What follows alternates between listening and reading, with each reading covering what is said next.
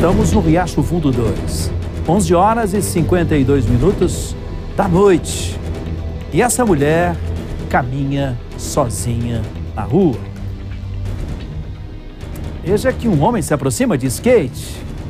Armado com uma faca, ele anuncia o assalto e pega a bolsa. A vítima, você vai ver aí, se desespera. Olha, ele se aproxima, Sidão faz o destaque para você, tira só um pouquinho a tarja, isso. Olha, ele toma a bolsa dela. O ladrão vai fugir. Eu não vou ter essa imagem por total dele fugindo, infelizmente, mas eu vou te contar a história. Vou te contar a história.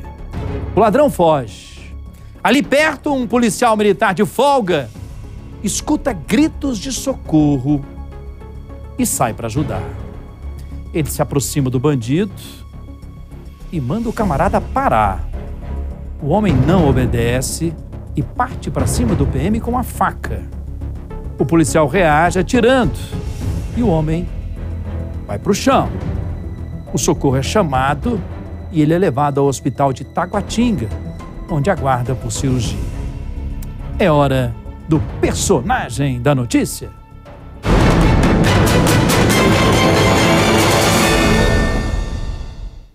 Aqui no Cidade eu converso com o soldado Ferreira Gomes. Soldado, boa noite, muito obrigado pela sua presença. Soldado, como é que tudo aconteceu? Senhor estava ali na, naquela região ali e de repente escutou gritos de socorro, foi isso?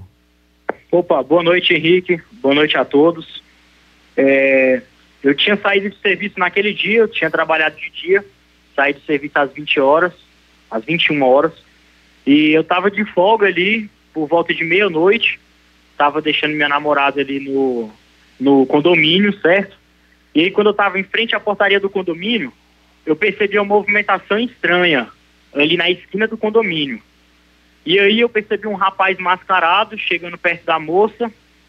E aí a moça entregou a mochila para ele e veio correndo em direção à portaria, correndo, gritando socorro, socorro, acabei de ser assaltada. E o indivíduo, o rapaz, o autor, continuou correndo na direção, na direção contrária, descendo a rua. Eu de imediato percebi, né, que ele tratava de um assalto, de um roubo, e aí conduzi o veículo em acompanhamento ao autor, até que eu consegui alcançá-lo, emitindo ordem de parada. E aí quando eu alcancei ele, eu me identifiquei como policial, abordei ele, falei: "Parado, polícia, coloca a mão na cabeça". Ele estava com a faca em mãos, ele ficou me olhando, Nesse momento eu desembarquei do veículo, eu com a faca, eh, eu com a arma de fogo, né, apontada para ele, me identifiquei como policial, parado, polícia, deita no chão. Nesse momento ele olhou para mim, aí ele foi e falou: "Não vou deitar". E aí veio correndo para cima de mim com a faca. Aí nesse momento, para me defender, certo? Que ele veio para me matar com a faca, efetuei três disparos de, de arma de fogo. É, e ele só parou após o terceiro disparo. Foi o momento que ele caiu no chão. E aí eu liguei no 190 pedindo apoio da PM e no 93, apoio do CBMDF. Bem, aí, soldado, não tem jeito, é ação e reação mesmo, né? Ele parte para cima, então, do senhor. É, com essa faca, tudo indica a mesma faca que ele usou é, é, para surpreender a, a mulher, não é isso? Isso, a mesma faca que ele surpreendeu a mulher foi a faca que ele viu para cima de mim. É, ele estava com essa máscara, além dessa faca aí. E parece que ele já tinha cometido outros, né? Outros assaltos utilizando essa máscara lá na região do Riacho Fundo. Isso foi no Riacho Fundo. Quando Inclusive, senhor... pois não. ele, ele também estava com a tornozeleira eletrônica. Já tinha diversas passagens pelo polícia. Ou seja, já com várias passagens, usando a tornozeleira eletrônica e continuando na rua assaltando, Sim. cometendo crimes, né? Cometendo pois crimes. É. Na hora que o senhor se aproxima dele, que o senhor fala para ele, parado, parado, aqui é polícia, tinha mais alguém do lado naquela situação ou estava uma situação sob controle para que o senhor pudesse agir com a tranquilidade que o senhor agiu ali eh, na, na, na, medida que ele avança contra o senhor? Não, negativo. Ali naquela região ali só estava eu, naquele momento, eu, a minha namorada que estava dentro do carro e o rapaz, né, o autor tinha uma testemunha que estava na esquina, só que era longe, bem longe. Ele conseguiu visualizar toda a ação, mas não corria nenhum risco ali. Bem, o senhor então dá pelo menos três tiros nele, ele fica ali no chão, temos essa imagem. Imediatamente isso. o senhor aciona o socorro, ele é levado ao hospital, é isso? Isso, positivo. Ele foi, ele foi levado ao HRT. É, eu efetuei o primeiro disparo, ele não parou, continuou ouvindo. Efetuei o segundo, ele continuou ouvindo. Aí quando efetuei o terceiro, que ele parou.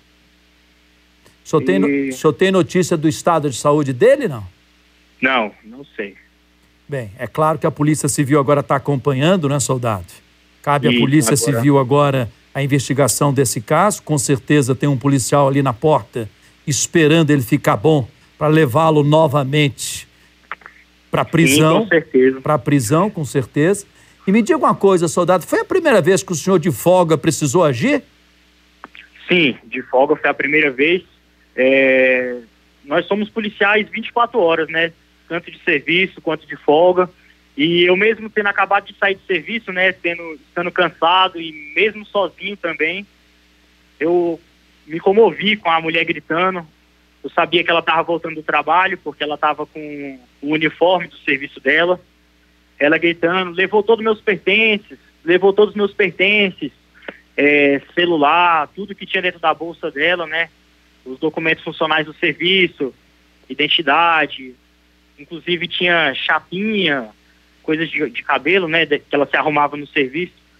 Enfim, uma situação bem triste. A pessoa passa o dia trabalhando, aí chegando em casa, no caminho entre a parada de ônibus e a residência, chega um indivíduo aí mascarado e surpreende com a faca, né? Inclusive, ele apontou a faca pro peito dela. E deu, deu para recuperar todos os objetos dela, não? Sim, sim, com certeza. Quando eu, quando eu abordei ele, ele estava com a faca, com a máscara e a mochila com todos os pertences dela. Olha, soldado Ferreira, eu quero eh, lhe abraçar, lhe agradecer por essa entrevista, lhe parabenizar pela sua ação policial. O senhor estava de folga, mas é como o senhor disse, né? Policial que é policial trabalha 24 horas por dia e assim o senhor fez, cumprindo a sua missão de bem defender eh, o morador do Distrito Federal. Parabéns pelo seu trabalho. Eu agradeço aí. Parabéns ao seu trabalho mesmo. Ô, oh, Rafa, parabéns, meu filho. Isso, parabéns, parabéns ao soldado. Soldado, um abraço ao senhor. Muito obrigado pela entrevista.